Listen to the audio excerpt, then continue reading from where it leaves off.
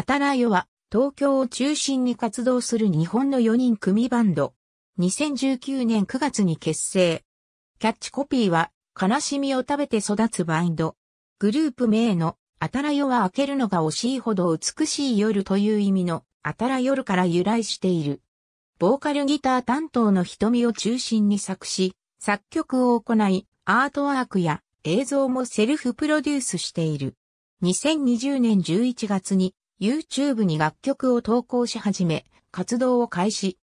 初のオリジナル曲、10月無口な君を忘れるでは、切なく、エモーショナルな歌声と、都会的な空気感、共感を呼ぶ、切ない歌詞の世界観が TikTok を中心に話題となり、2021年7月現在、YouTube では2000万再生を突破。今年3月にデジタルリリースを開始すると、LINE Music リアルタイムランキング1位を獲得。その後 Spotify でも国内バイラルチャート1位を獲得した。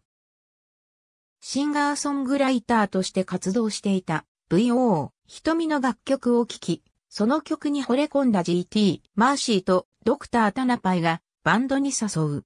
瞳はこれを快諾し、はじめの1ヶ月ほどベース担当を探しつつバンド活動を始める。そしてメンバー共通の知り合いベーシストで、アレンジ能力に定評があった BA 竹雄が本格的にメンバーに加入し、あたらよ結成。YouTube に初のオリジナル楽曲、10月無口な君を忘れるを投稿し、活動を開始。10月無口な君を忘れるが YouTube で公開後、SNS で反響を呼び100万回再生突破。10月無口な君を忘れるの配信リリースを開始し、下記のチャートを記録。TikTok 人気急上昇チャート1位、Spotify 急上昇チャート2位、LINE Music Daily 1位。